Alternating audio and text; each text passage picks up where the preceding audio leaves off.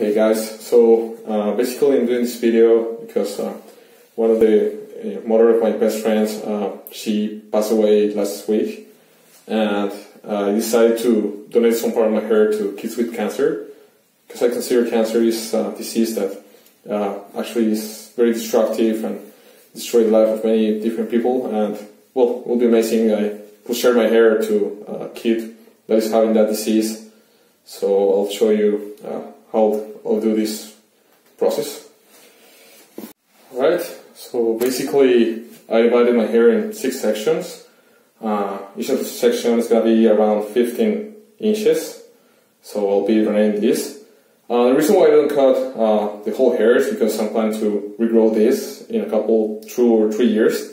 So I could donate my hair uh, again. So yeah, here I go.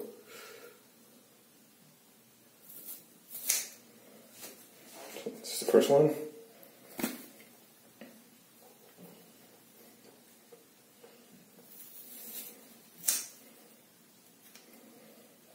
Second one.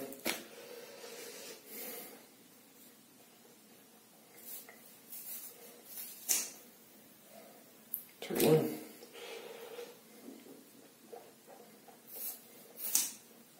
Fourth one.